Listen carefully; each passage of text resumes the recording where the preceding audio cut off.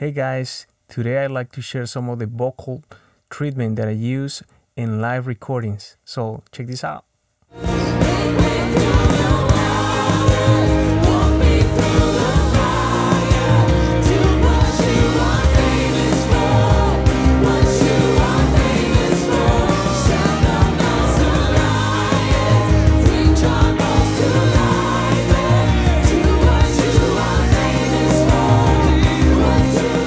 I have seven vocals. Uh, in each vocal, I have this processing. Check it out.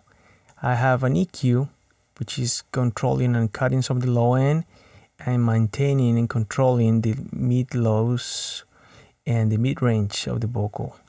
Followed by this digital uh, Slate digital um, plugin chain, which is basically saturation with some compression at the end, and an EQ for recovery at the end followed by a second compressor which is as is most likely an limiter for that vocal.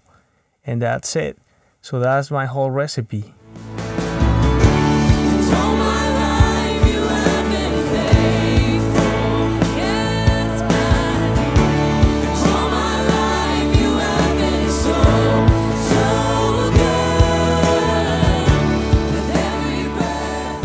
Let's talk about effects now.